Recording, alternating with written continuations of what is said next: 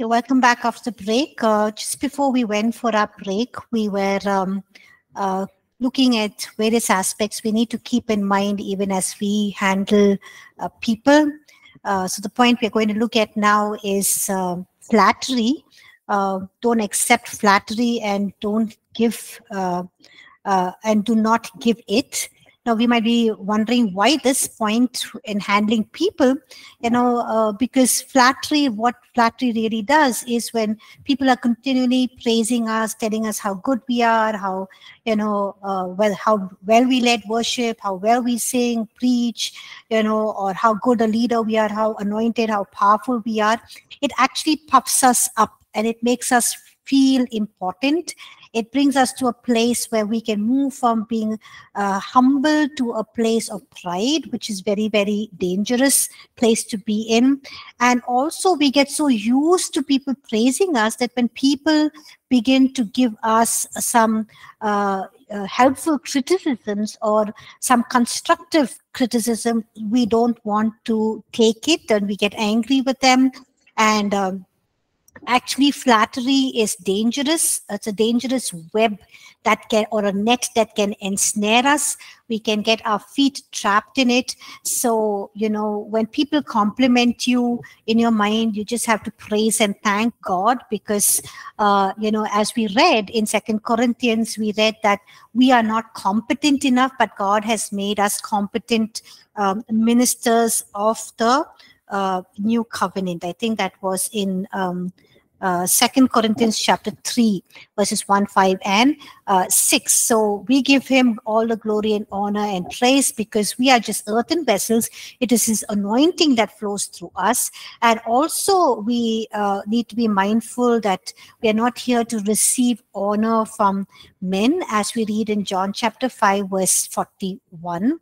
And also, John chapter 5, verse 44 says, The applause of heaven is more important than the praises of um, men. Okay. So uh, don't get into the whole web of flattery. Um, now, sometimes people can, uh, you know, uh, give you ideas as a leader uh, but you know we need to be careful. Uh, uh, if we take all of the ideas we keep following what people saying what uh, people are suggesting what people are, are telling us to do then that can be dangerous because uh, you know ultimately we are responsible to god because he has made us as shepherds as leaders. He's entrusted us with a vision a plan strategies. So we need to hear from god and uh, decide what god wants us to do okay and do that. Of course you know we can take the suggestion and ideas uh, of people if it's in line with what god is calling us or asking us to do uh, which can improvise or bring in more creativity and um, more uh, structure to what we are um, uh, doing or building on what we are have planned.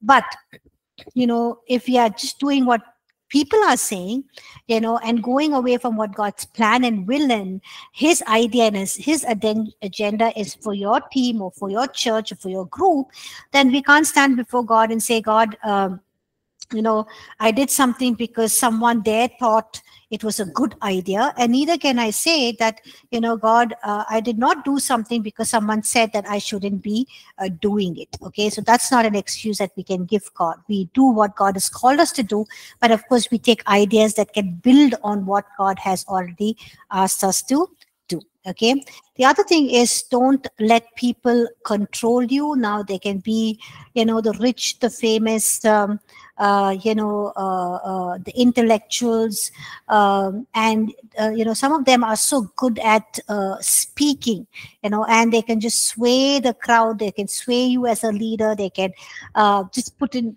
thoughts and you can just get carried away. And sometimes in a very nice way you know these people tell the leader or the pastor what they should be doing.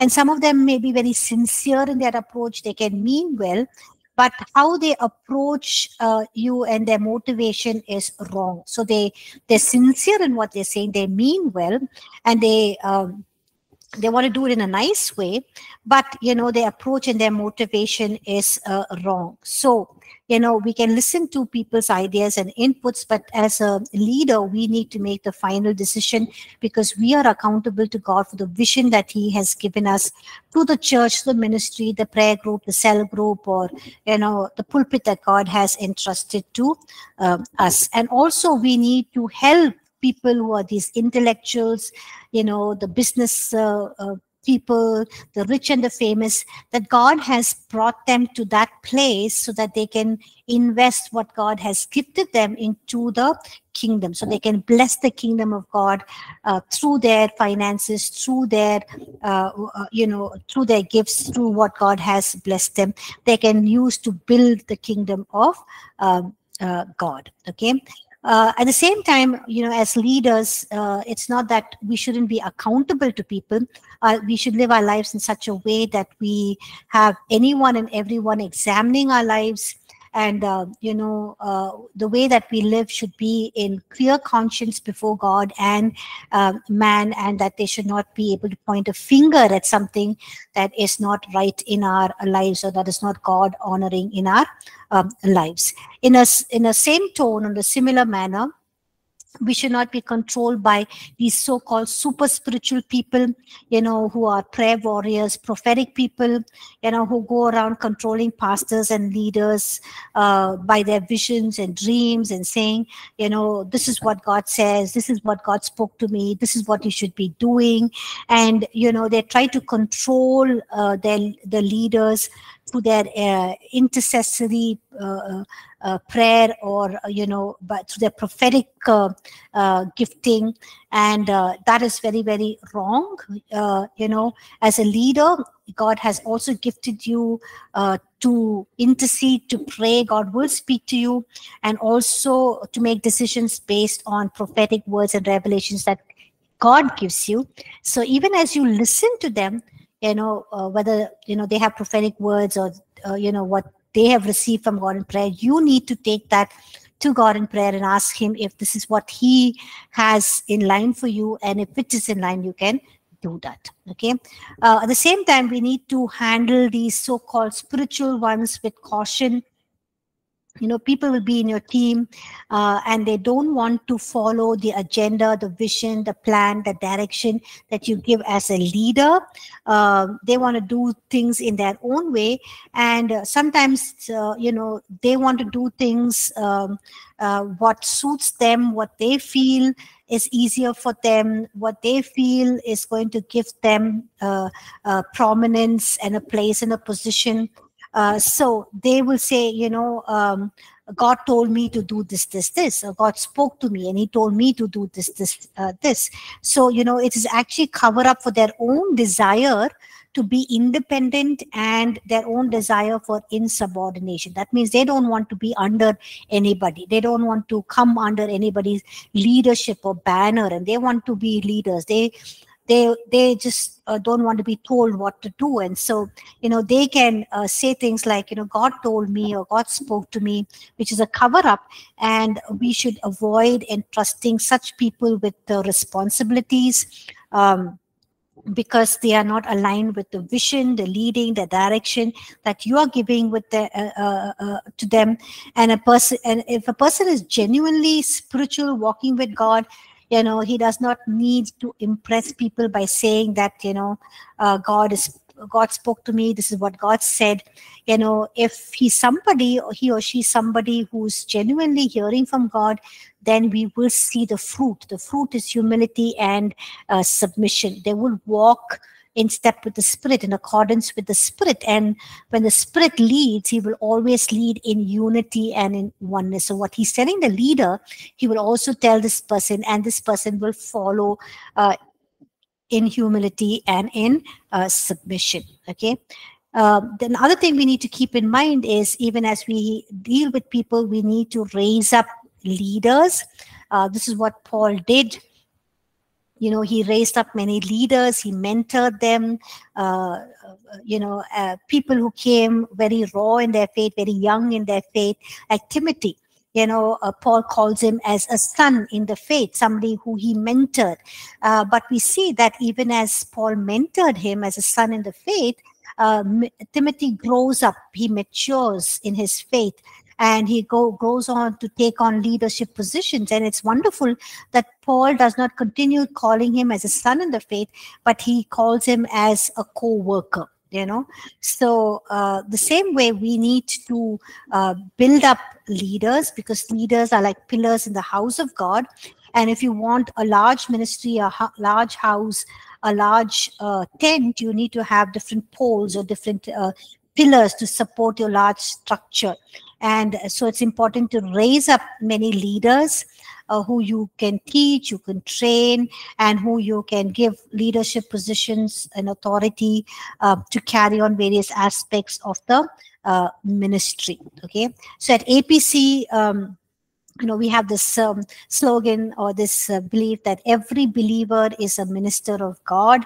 So, you know, if new believers come into church, take time to disciple them. From, from discipling them, we move them to be ministers, and from ministers, we move them to be um, leaders. Now, when we talk about uh, uh, leaders, we're not talking about uh, a, a, a, position in, in, in, in, in the sense of status or uh, name and fame. But when you're talking about leadership or leader, we're talking about somebody who's willing to take on greater responsibility and greater service, which means a lot of hard work, a lot of time, uh, a lot of um, uh, you know job to get done, hard labor, hard work. So, you know, we need to create opportunities for people uh, to serve in various areas of the ministry, nurture them as leaders, get them to grow, watch their lives you know their heart attitudes. And like we said you know times when there's uh, needs to be correction that is uh, needed to be uh, brought in we can do that. But uh, take time before you appoint people into leadership roles and responsibilities before you give them titles and positions um, because like i said you know if they're willing to serve without any applause title position recognition then we know that they are they really truly have a heart to serve. Truly they have a heart to labor to work and are not just looking for title or position or uh, you know and such people we can elevate them we can give them leadership roles and um, responsibilities okay? Uh, so don't elevate people or don't give people roles and responsibility purely based on their talents, their gifts, their charisma. But look at their life example, whether it's godly, they have right uh, heart attitudes, a good relationship with people, and they're aligning themselves to the vision um, of the leader of the church, of the mission, of the ministry. And also, they are people who are uh, humble and, and submissive. Okay. So, um, uh, important to raise up leaders. Okay, Daniel, Daniel says how to select a leader, what quality should we look for. Like I said, you know, we need to watch their life and, uh, you know, if they're willing to serve without, uh, you just give them small roles and responsibilities. See if they are, uh, you know, committed, sincere, faithful, organized, uh, you know, dedicated, and they're doing things uh, irrespective of being applauded, uh, given appreciation without a role, without a title. Uh, they're sincere, faithful, they're committed, and also, you know, they have the right heart attitudes when you correct them and you tell them something to do. They're humble, they're submissive, they're aligning themselves with the overall vision, the mission statement. They're not going off doing their own things and saying you know god told me to do this this way. I feel uh, this is what god i sense this is what god is leading me. The spirit of god is telling me which will be totally different from you know the main vision the mission of the uh, group or the organization or the uh, church okay? So also important to look at their heart attitudes their whether they have a good relationship with people uh, whether they're trying to build unity in the team and not bring about a strife and division. Okay, did that help? Okay. Now, when you appoint leaders, it's important to stand by your leaders. Okay, doesn't mean that even when they do something wrong, you uh, you stand by them. Uh, but if you hear something that they have done wrong, then you have to double check it with the you know two or three witnesses and then you proceed on with the correction like what i i told you how you need to correct people. And uh, when you correct them do it uh, privately encourage them uh, you know and be patient with them. Tell them what needs to be done. Give them sufficient time. And you know if uh, they don't do what is required of them what uh, needs to be changed and what is the remedial action then you know you need to take uh, more stricter action like we discussed when we began uh, the first hour okay the first hour of this uh, class. So um, uh, the other thing we need to keep in mind is sometimes what did you do? But sometimes we need to keep in mind that uh, you know when um, there are people who make moral compromises uh, on godly standards we then we need to take corrective measures. And uh, that time you know we need to be more serious because this is uh, moral standards that is being compromised. So you know get the person off the role and responsibility. But uh, you know don't throw them out of the group or church they need help because it's something uh, a moral compromise that they are making um, so you need to work with them, mentor them, help them, nurture them, and uh, get them back uh, uh, to and restore them in the way that God wants them to be restored. Okay. The other important thing is don't um, be uh, passive when when you have to take action. Don't just say, okay, if I do this it's going to destroy the team it's going to bring disunity the team may break up some people may go behind uh, that person um, and all of those things. But you know we need to take action. It's very very important. And we see uh, in uh, various repercussions of uh, people not taking action at the right time, which can be even more disastrous and um, you know uh, life-threatening and life uh, disastrous for the rest of their lives. One example is about King David. Now, King David. Um, you know um, his children um, absalom and tamar and also ammon ammon is the half brother of uh, Tamar, and uh, Ammon is in love with Tamar, and then he violates her virginity. And, um, you know, leave alone uh, violating her virginity, he just, after that, you know, his love uh, transforms into sheer hatred and uh, resentment against her and he just you know does away with her he doesn't want to do anything with her and that leaves Tamar even more devastated and um, sad. And, uh, you know, her brother Absalom is very, very disappointed. And when King David hears what his children have done, you know, he does not take any action. And it's very, very sad.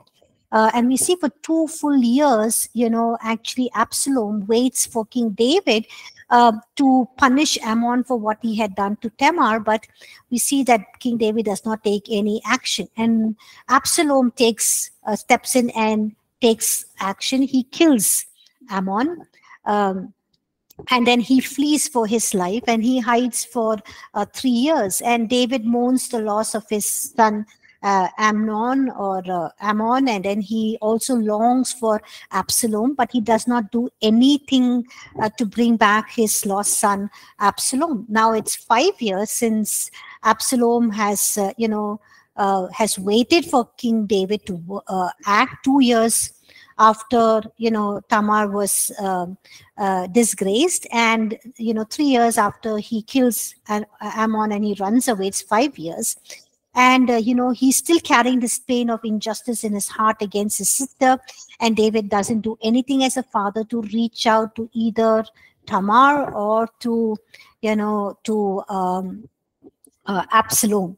And we see that you know finally um, absalom you know um, uh, reaches sorry um, it's five years so he doesn't do anything. And then you know uh, we see that um, um, uh, David's uh, lead, uh, leader, Joab, you know, Absalom, uh, comes to him, and uh, you know, after five years, uh, he says that he wants to meet um, uh, uh, his father David. Okay, so he comes to Jerusalem and then he continues two years without meeting uh, David. So basically, it is his leaders who convince King David to bring Absalom back to Jerusalem. So they bring him back, but even after that two years king david does not meet um, uh, absalom and then you know absalom goes to joab who is one of uh, you know uh, king david's commanders and tells him uh, to get an appointment with his father king uh, david and finally you know, after seven years, you know, Absalom gets to meet his father, um, uh, uh, David. And we see that, you know, there is no indication that David did anything to heal Absalom's wounds or uh, his hurt, his disappointment, his frustration, even after he met his father after seven years. And what happened really was it led to be to lead Absalom to become rebellious. And he led a massive rebellion against his own father and David. So much so that David had to flee from Jerusalem and he almost lost his throne. Okay? So here we here learn a important lesson that you know David could have done something to heal the wounds to bring correction uh, for even after seven years, he didn't do anything to resolve the pain and the issue. And this eventually led to rebellion in the heart and the life of um, Absalom. So, you know, when when you see things that are going wrong in your ministry, don't overlook it. You know, as a leader, you should not ignore it. Um, you when you look at it, you know, um, find out what is going wrong, detect it, have a heart to heart talk with people you know listen to what is their discomfort their emotions uh, what is uh, their feeling um, and you know um, uh, try to resolve the issue with them. If things are not getting resolved with the person you know it's best to release them lovingly so that they don't continue and they don't mess up the work and the team that is there but they can move on and step into some other ministry area assignment and they can do well and flourish over there okay? The next thing is don't be partakers of other people's sin. Now as leaders as um, as uh, pastors there will be people who come and you know you know whether it is um, uh, giving an um, uh, you know um, a recommendation for their job or for their children's uh, schooling or for marriage sometimes we can uh, say things that are not uh, right about that person you know we can cover up the person's fault and that is wrong.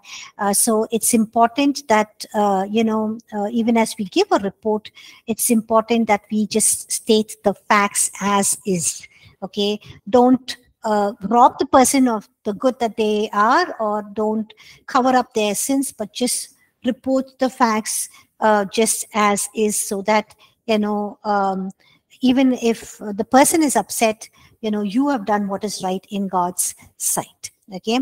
And sometimes saying no is a sin it's not a sin sorry. Uh, sometimes saying no is not a sin uh, you know as leaders as ministers uh, we can't be there at all times in all places doing everything what people require of us.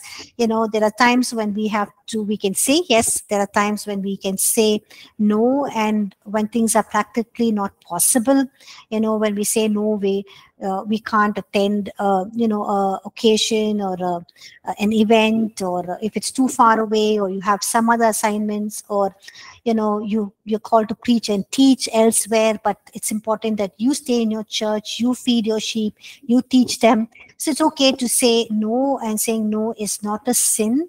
Um, so don't feel the pressure to say yes all the time because sometimes when we say yes to anything and everything, it can destroy our own ministry, our health, and our family, and so on.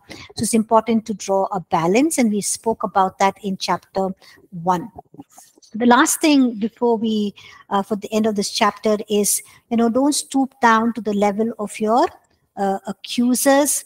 You know um, people can accuse you um, but uh, you know uh, we can face a lot of uh, accusations gossip rumors a lot of things will be spoken about us. We don't have a control or a say what people can say and do but you know we have a choice. And choice is to not repay evil for evil evil sorry.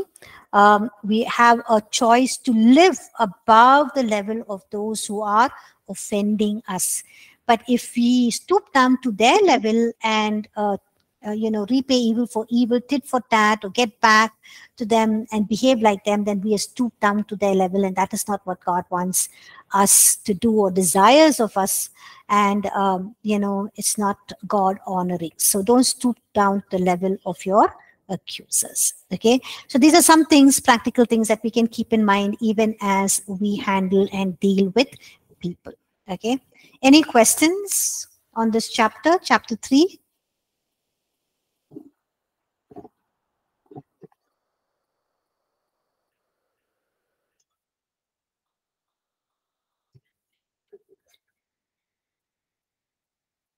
Okay, there are no questions.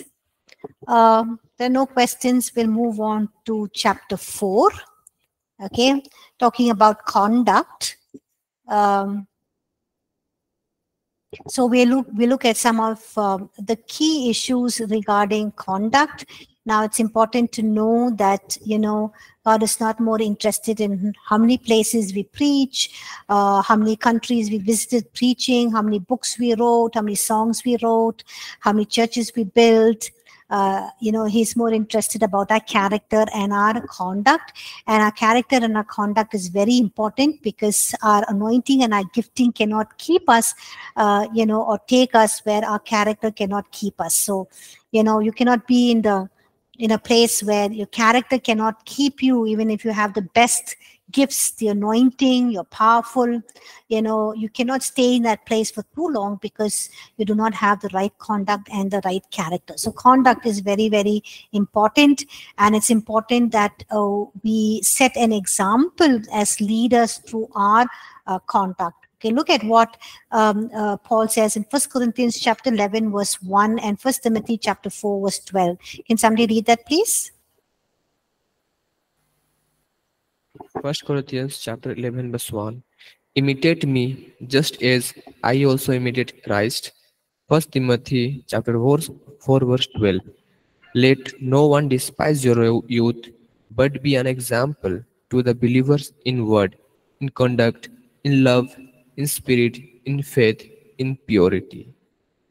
Amen. Thank you. So here we see that, you know, Paul is making this bold statement in First Corinthians chapter 11 says, imitate me as I imitate Christ. I mean, for him to say that means that really his life and his conduct and his character is so transparent that everyone could see it and could know that you know, here is someone who's really Christ uh, like and a very powerful uh, statement to make. And he's saying, you know, uh, it's so important for us to set a godly example that people are able to see our life and our conduct and uh, follow us even as we are here place of responsibility even as christ has put us uh, in this place of responsibility also we see that paul challenges young timothy to lead the church at ephesus by being an example to the believers. And he says be an example in speech which means you know we need to set an example in the way we speak uh, not just the way we speak, the kind of things that we speak, even if you're saying a joke, even if you're talking about people,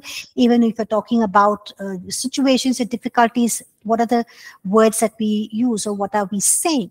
In conduct, how we live our lives, how we manage our time, our energy, our money, our relationships, our family, you know, being good stewards of what God has entrusted to us. In love means how we love and care for uh, uh, people you know in spirit means um, the matters of the heart purity in our motives and in our attitudes.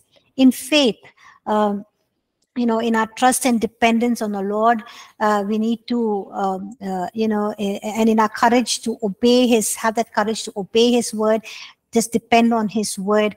And purity is uh, to live a life of holiness and godliness you know uh, uh on a day to day basis. In our motives in our attitudes uh, should be holy and and godly and blameless okay?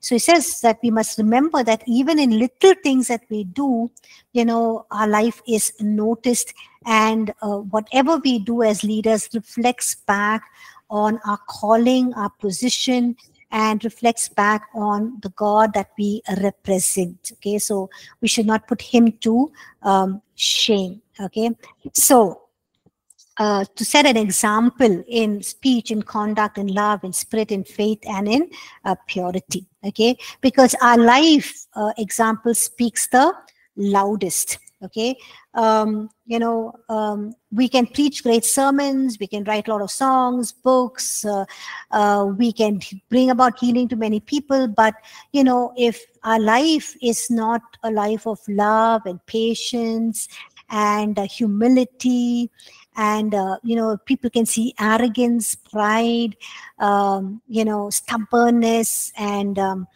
rudeness and anger in us, then you know our life is not speaking, um, and people will forget all the you know the great sermons we preached or uh, you know the works that we have done but they will our, uh, our life what who we are and what we have how we have lived our life actually speak um, volumes. And this is what people remember and will be remembered for uh, lifelong okay? So look at what paul says in his um, when he exhorts the Ephesian leaders, he points to uh, uh, points them to his own life and example, and he says that you know. Um, uh, he says in Acts chapter 20, he tells the leaders at Ephesus that, you know, from the first day that I came to Asia, in what manner I always lived among you, serving the Lord with all humility uh, with many tears and trials which happened to me by, by the plotting of Jews. So he's saying that, hey, my life has been so transparent that you've been able to see that I've served the Lord with all um, humility. Okay. So it's important that, uh, you know, uh, we know that it's not what we have done, how much we have done, but it's our life that speaks volumes and people remember our actions and our words and our deeds more than what we have accomplished okay? Uh, even as we serve in uh, the lord you know it's important that uh, we have uh, the right conduct of working hard. You know sometimes we think that it being in ministry you know we can stretch sit back relax and do things in a in a very uh, small pace in a very easy pace. You know uh, we're not willing to work hard. We're not uh, willing to stretch beyond go beyond what requires of us. We want the easy comfortable life. We're not willing to make sacrifices. We're not willing to go the extra mile.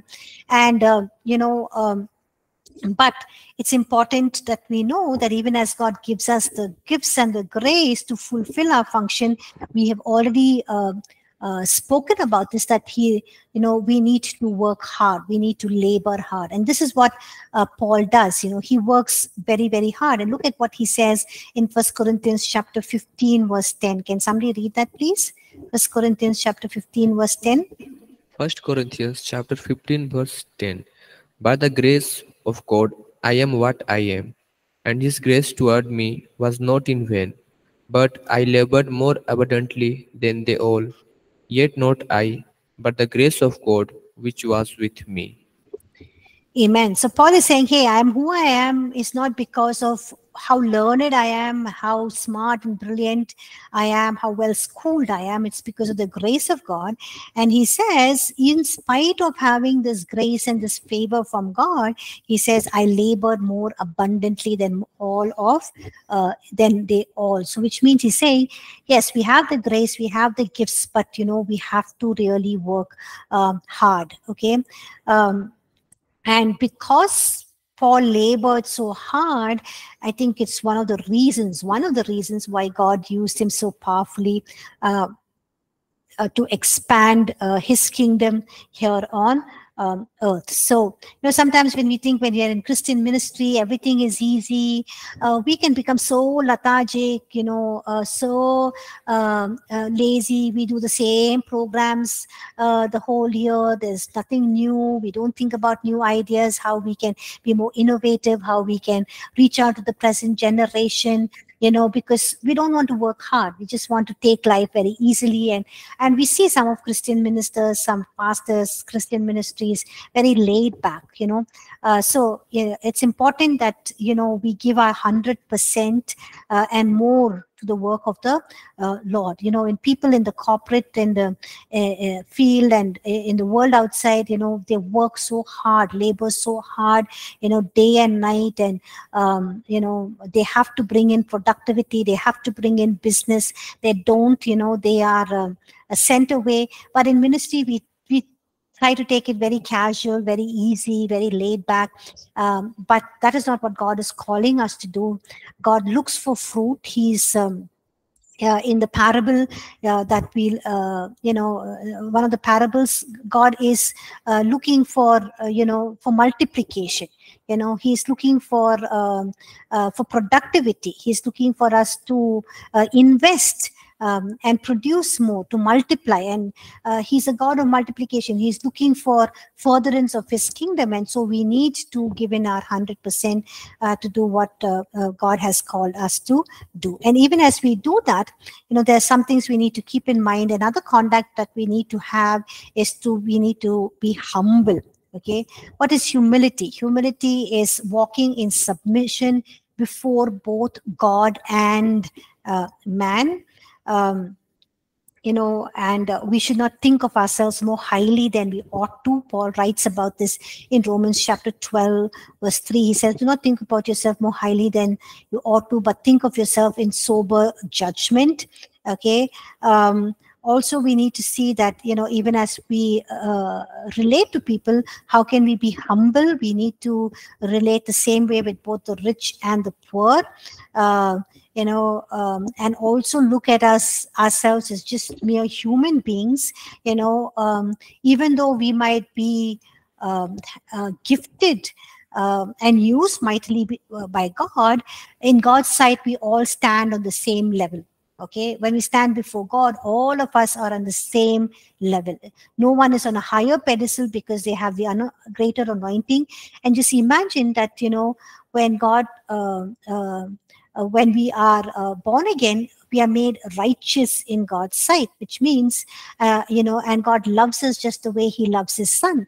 And we are in right standing with God. That means He places us in the right standing with Christ Jesus. So there's nothing to boast about. You know, when you look at that, when you think about that, you must think that, hey, you know, here is a God who who's so great and so mighty, and He thinks so great about me that he loves me just as he loves his son and he's placed me in the same level as he places his son. Who am i? And that should be sufficient enough or humbling enough for us to say god i don't deserve that place you know where you have put me with, beside your son the same level as your son.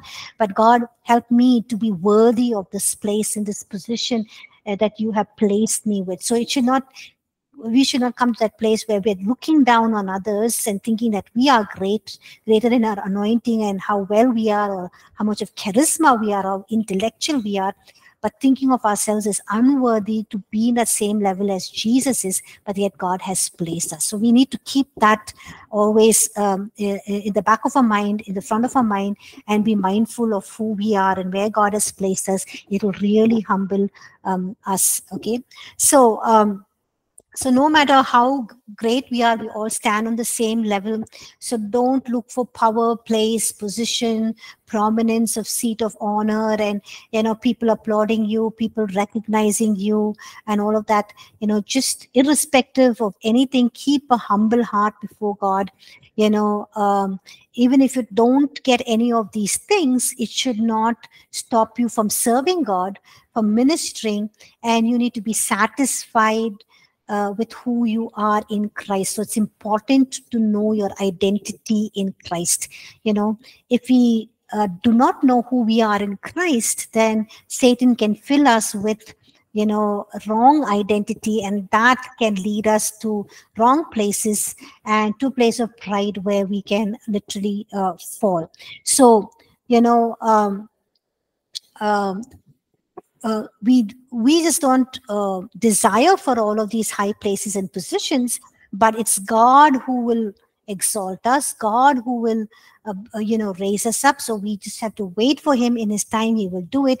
But humility is true strength um, eh, and it's a place where god releases even more grace. So if you want to do great and mighty exploits for God's kingdom and, uh, you know, uh, flow in the gifts and be used mightily by God, now you need to come to a place of humility because humility is a place of strength and it's a place where more grace is given. And when you flow in that grace, you can do great and accomplish great things for God.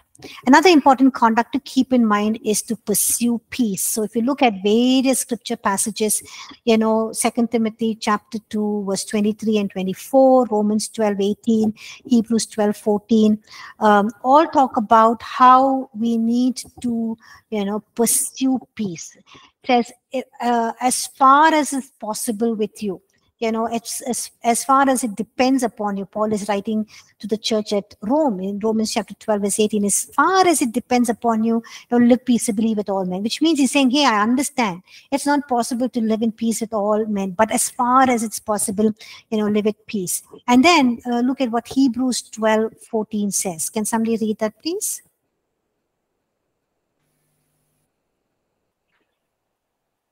Ma'am, Hebrew Yes, Hebrews 12 14.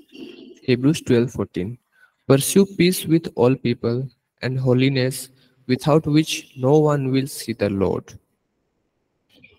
So here he's saying, you know, uh, pursue peace. Don't, uh, you know, when don't quarrel, don't get into arguments, contention, strife, uh, contention, sorry, and strife. Keep your life free from strife, you know, um, because when you when you quarrel and uh, you know strife comes in it opens the door for all kinds of evil and you're just unnecessarily wasting your time and energy and it robs you of all the things that you want to do. And it's also carnal minded a carnal minded person engages in strife and quarrel uh, and not a minister of god. Okay? So when somebody accuses you criticizes you you know um, try to settle the matter with them. And if it's not you know just let it pass. You can't do anything. You can't change people. Uh, but what you can do is promote peace okay? An example given here is about nehemiah. Nehemiah was called to build the walls of jerusalem. And even as he was building the walls of jerusalem the arabs sanballat tobiah and geshem you know they saw the work was progressing in great speed and they were very uh, angry and upset. They tried to do everything to stop nehemiah. So they you know called him uh, to meet uh, with them. And you know and he and he sent the message for these men sent the message four times. But all the time you know what does uh, nehemiah do? He knows that they're trying to uh, thwart god's plans. They're going to trying to stop him from building the wall. So he says, I'm going, I'm doing a great work so that I cannot come down. Why should the work cease while I leave and go down to you. So he's more interested in the work that God has called them to than in just meeting with these um, men. So we need to keep focused on what God has called us to do. And, you know, if there's some strife, settle the matter quickly, peacefully, and keep going on with the work. Sometimes it's okay, even if it's not your mistake, to just overlook it, just apologize, just to keep the unity of peace so that God is honored and the work continues. Okay.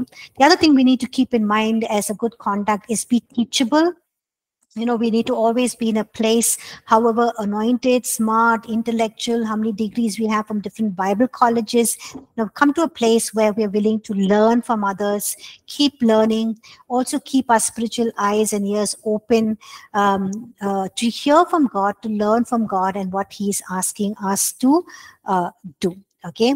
The next one is uh, you know as far as possible we need to keep our word uh, if you promise uh, somebody something you know keep it. Uh, if not don't make those promises. Uh, you know sometimes some of us do not know how to say no. So we promise to do things for people. Then when we're, not able to do or visit them or call them or help them you know uh, eventually people get disappointed.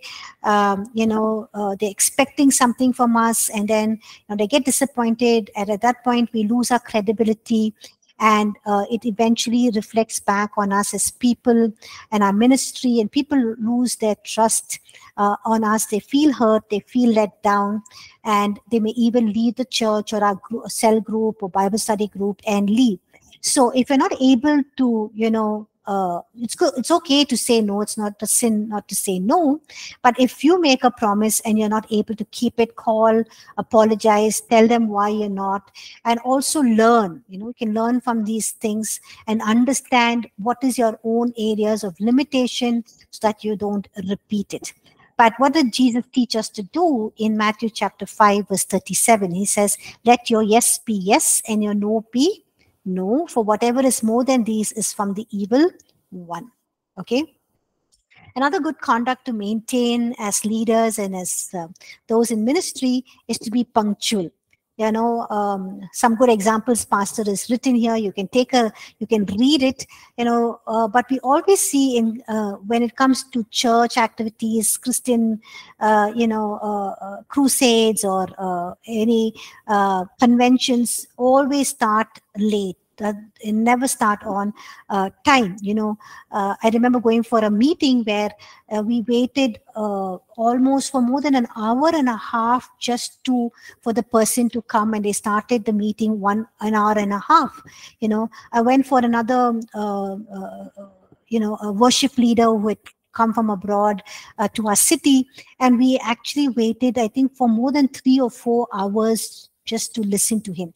At least the organizers could have come and announced in the mic saying that, hey, you know, things are delayed because of this, this, this. We're sorry. We apologize. No announcement, nothing. We waited for four hours. And finally, the worship leader came. He just sang three or four songs and just left. It was so disappointing. So as um, as a practice at APC, we the worship team is five minutes up on uh, the stage uh, before worship start uh, uh, before the service starts and you know we start right on time. And pastor always has told us that even you know if we call for any meeting or any workshop or any seminar even if there's one person we honor that person who's come on time and we start the meeting on time even if it is just one person which means we're teaching people that hey we start on time we mean business. So next time you you know make sure that you are starting you're, you're there on time otherwise you will lose out on it okay? So good to to be on time and also start our meetings on time. It's god honoring because we serve a god of order and a god who works things perfectly in uh, in, in with you know perfection and in order okay uh, be, be, be blameless before God and man. So it's important that the way we conduct ourselves, our character is blameless before God and man. The way we live our lives, uh, the things that we do in our ministry, you know, there should be nothing that uh, is hidden should be blameless uh, even if we make mistakes you know we must come before god ask for his forgiveness receive correction you know um, uh, pull ourselves up, move forward, and put those things behind, but learn from the mistakes that we have uh, made. Okay, but choose not to continue doing things that are wrong.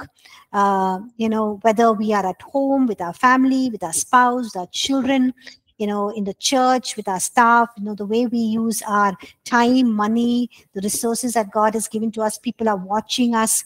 And so we should show ourselves as true ministers of god um, not only in the sight of god but also in the sight of man. Okay? Just two more things uh, before we end this lesson is enjoy life but avoid loose talk and foolish jesting. You know as uh, men and women of god we need to be careful what kind of jokes we say what we speak about people, how we make statements, um, you know, uh, avoid things that are foolish and loose talk. Um, as we read in Ephesians chapter 4, verse 29 and chapter 5, verse 3 and 4. The last thing is, you know, don't demand comforts and luxuries. You know, as ministers of God and as leaders, when we're called uh, to minister in different places.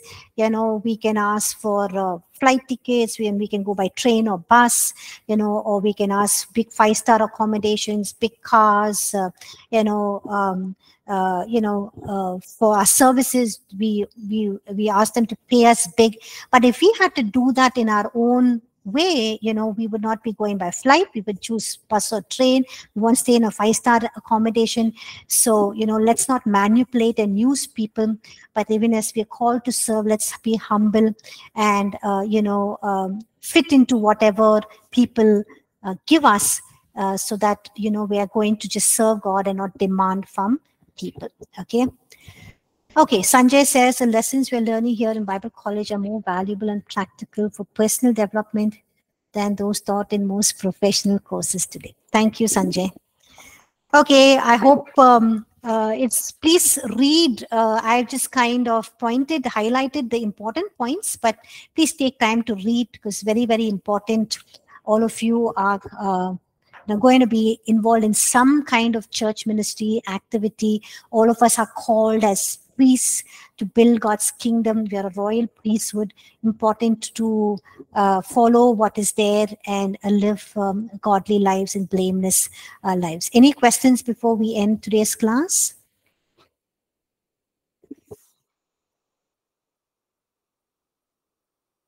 Okay, no questions. Thank you all for joining class. Have a, a blessed weekend, and I will see you next uh, Friday. Thank you.